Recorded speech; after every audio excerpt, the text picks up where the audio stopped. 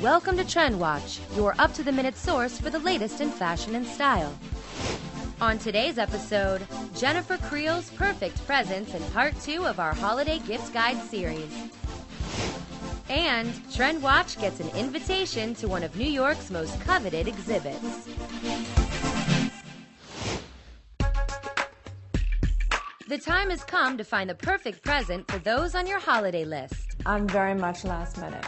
And I love that last minute. I love that whole anxiety, that rush to go get it and have to get it. And I've always been like that.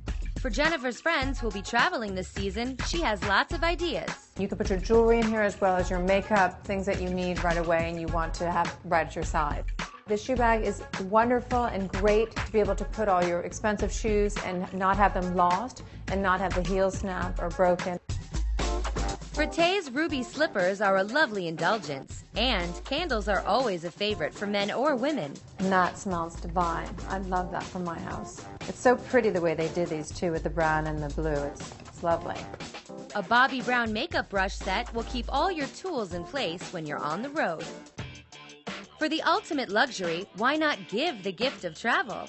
A trip to Miami Beach's newest property, the Gansevoort South, is the perfect winter getaway. What else could there be better than being in Miami, somewhere warm, and having a vacation and having it as a gift? And what possibly could you not say? But yes, I mean, it's amazing. Something to wear while away? How about Cortese loungewear or a cozy cashmere robe?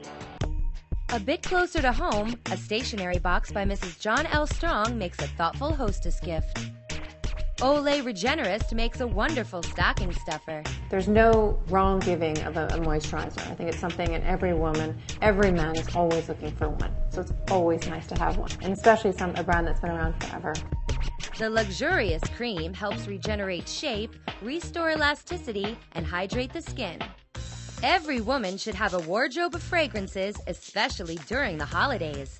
Designer Karl Lagerfeld created a trio of scents for his new capsule collection. Floriental. It's kind of a Florentine kind of, I mean, I feel like I'm somewhere, Italy somewhere with that. The citrusy light. Your day about town, running around and not necessarily being anywhere in particular, but just at the moment, something that's not so aggressive and something that you want to be light and airy about and the outdoorsy Woody. Being, you know, I would say at a hunting lodge and being there and exploring and walking and doing your trail walk. Calvin Klein has two options the timelessly romantic Eternity. It makes me think of forever, and that's something I would probably want to give to somebody with a very big personality. In the Oriental exotic, Euphoria. This is something I would have for my definitely more adventurous friend. If there's much more of a musky kind of rugged but feminine side. Vera Wang Look is a feminine and seductive scent with complex fragrance notes. This is definitely an example of who Vera Wang is. I think it definitely shows her style and what she's about. And there you have the perfect gifts for anyone on your holiday list.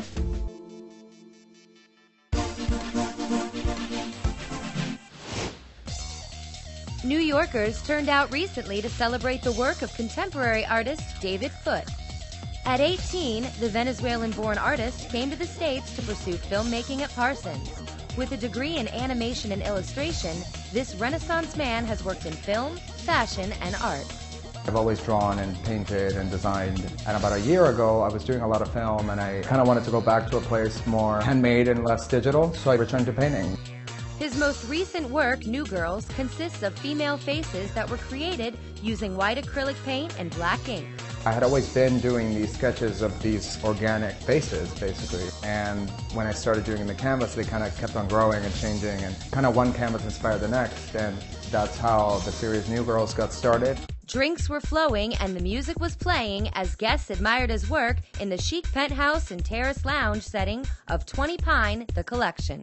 I love David's work. I think that it's very interesting in that he uses all of these different girls and chooses to illustrate them in only black and white. He wanted his viewers to be able to use their imaginations and imagine what color these girls' eyes were or hair was and all that. So I find that really interesting. It Kind of reminds me of something the 60-ish kind of era. I mean, the long kind of hair and the big eyes and the dramatic eyes.